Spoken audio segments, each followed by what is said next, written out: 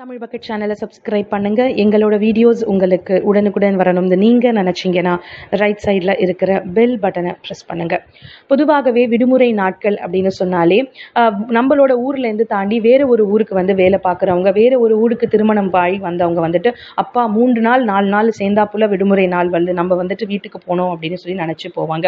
So அப்படி தான் வந்து சென்னையை சேர்ந்த ஒரு பெண்மணி வந்துட்டு அலுவலக அலுவலகத்தில் வேலையும் பார்த்துட்டு குழந்தைகளையும் பார்த்துட்டு இருந்திருக்காங்க. ஸோ அவங்களோட ஊர் பார்த்தீங்கன்னா கோயம்புத்தூர். கோயம்புத்தூர். ஸோ கோயம்புத்தூர்லேருந்து திருமணம் தான் அவங்க சென்னைக்கு வந்திருக்காங்க. ஸோ அன்னைக்கு அவங்க அவங்க கணவர்கிட்ட கேட்குறாங்க ஆஃபீஸும் வந்து லீவு குழந்தையும் குழந்தை வந்து ஸ்கூலில் லீவு நான் வந்து அம்மா வீட்டுக்கு போகிறேன் அப்படின்னு சொல்லி அம்மா வீட்டுக்கு கோயம்புத்தூருக்கு கிளம்பி போயிருக்காங்க.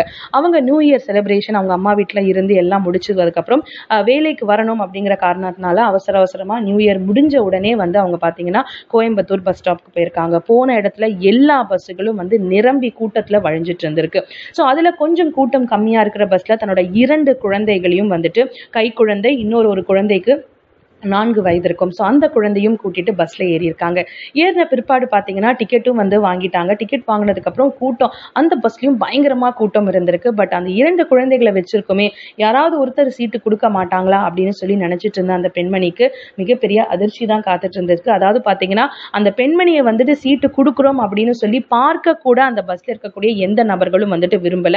ஸோ எங்க அந்த பெண்மணி குழந்தைகளோட வந்ததால சீட்டு கேட்டுருவாங்களோ அப்படின்னு சொல்லி எல்லோரும் வந்து முகத்தை திருப்பியிருக்காங்க இதை பார்த்த உடனே அந்த பெண்மணிக்கு ரொம்ப கஷ்டமாயிடுச்சு. தன்னோட கைக்குழந்தை உறங்கிட்டு இருந்த தன்னோட கைக்குழந்தையோட நான்கு வயது சிறுவன் இன்னொரு ஒரு குழந்தையோட அப்படியே அந்த பஸ்ல வந்து தரையிலேயே உட்கார்ந்துருக்காங்க.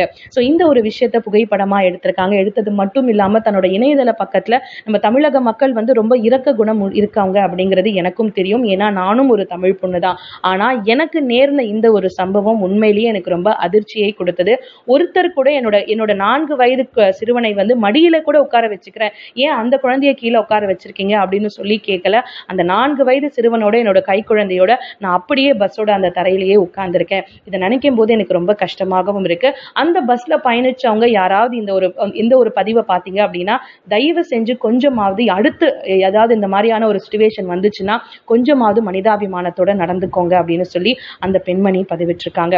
ஸோ இந்த பதிவை கேட்கும்போது நம்மளுக்கு உண்மையிலே எவ்வளோ கோவம் வருது. நம்ம தமிழகத்துல இருந்து நம்ம தமிழ் மக்களா இப்படி பண்றாங்க அப்படிங்கிற ஒரு கோவம் வருது.